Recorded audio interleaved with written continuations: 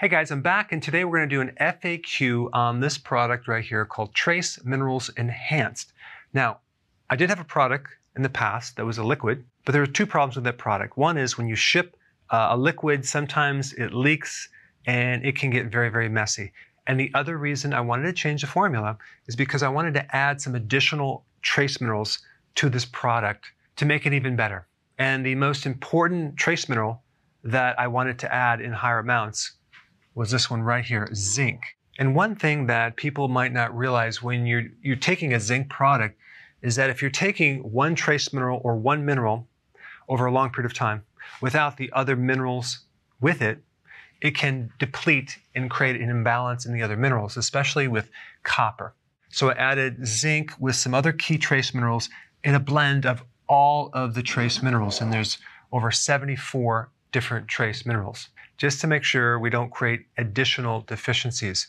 But zinc supports a healthy immune system. In fact, your phagocytes, the cells that eat viruses and bacteria and dead cells, are saturated with zinc. So if you're zinc deficient, you become more susceptible to infection because you lose that resistance.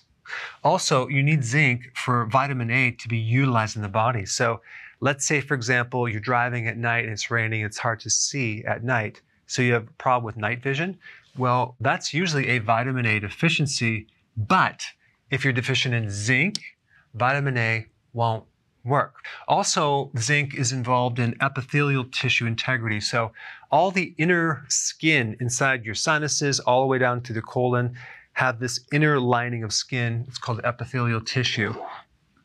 And zinc is involved in keeping the integrity of that tissue to prevent leaky gut, which leads to all sorts of immune issues.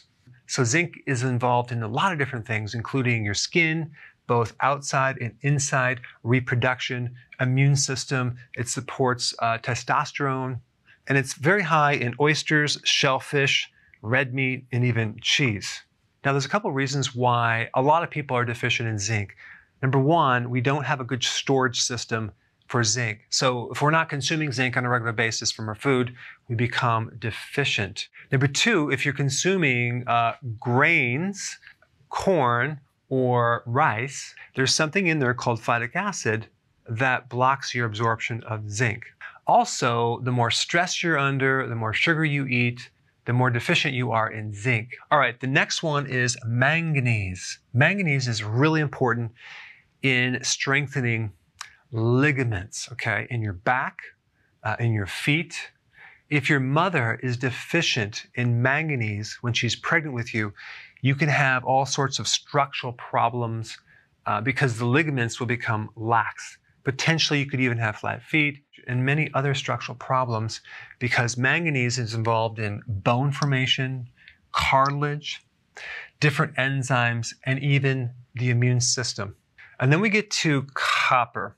Copper is one little part of the vitamin C complex. So if you've ever heard of a major vitamin C deficiency called scurvy, you'll notice that um, there's a major loss of collagen, uh, they have major fatigue.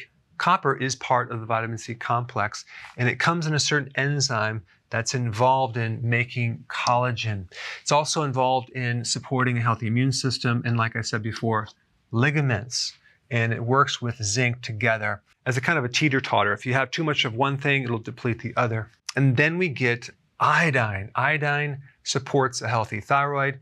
It helps in the formation of thyroid hormones. So if you've heard of uh, T4 or T3, the 3 and 4 represent the number of iodine molecules in that thyroid hormone. It also helps support estrogen. It helps to balance out estrogen. So if you have too much estrogen, iodine can help bring it back into the right range. Iodine is very, very, very important if a mother who's pregnant is carrying their child because if the mother is deficient, that child could end up with a lower IQ and certain cognitive impairments. And then we get to selenium, which is probably one of the most important antioxidants. It's involved in something called glutathione, which is a very powerful antioxidant in your liver. It's also very important in converting the thyroid hormones like T4 to T3. It's really important in supporting uh, conditions like Hashimoto's. It's also uh, very helpful in buffering excess amounts of mercury. It's involved in the immune system. It also can prevent muscle cramping. So let's say you're doing all of the different minerals like magnesium, potassium, salt, and you still have cramps. It could be you need selenium. Selenium is mainly in shellfish and seafood.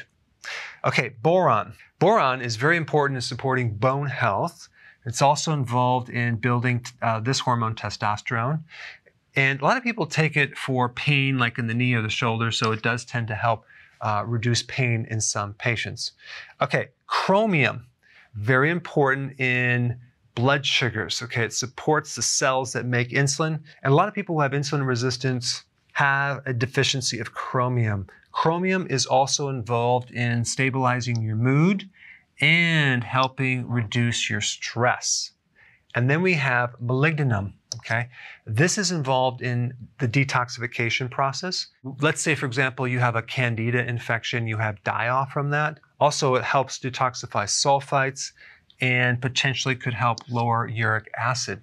So, this product has greater amounts of these trace minerals, but it's also in a blend of all of the trace minerals. So, trace minerals in general are minerals needed in very small amounts, but they are cofactors in the biochemistry of the body. So, you have all these different enzymes that are proteins that are building tissue, breaking food down, all the different chemical reactions. Trace minerals are needed in those chemical reactions.